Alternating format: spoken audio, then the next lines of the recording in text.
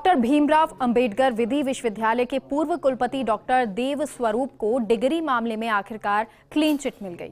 हालाँकि इस मामले पर उनको वीसी पद से इस्तीफा देना पड़ा था। क्या है पूरा मामला? देखिए ये खास रिपोर्ट।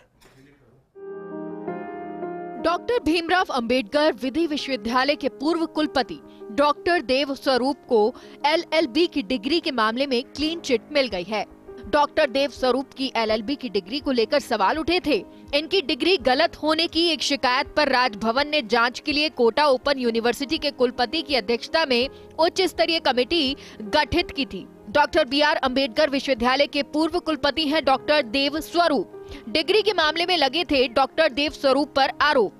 अब राजभवन ने बताया, कोई जाँच नहीं है पेंडिंग। कमेटी ने राजभवन को रिपोर्ट सौंपी। डॉक्टर देव स्वरूप को एलएलबी की डिग्री के मामले में क्लीन चिट मिली।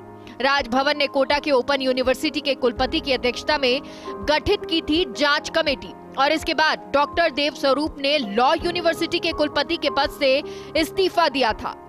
कार्यकाल पूरा होने से करीब दो महीने पहले इस्तीफा दिया था। शिकायत थी कि कुलपति पद के रूप में उन्होंने अपनी एलएलबी की डिग्री छुपाई थी।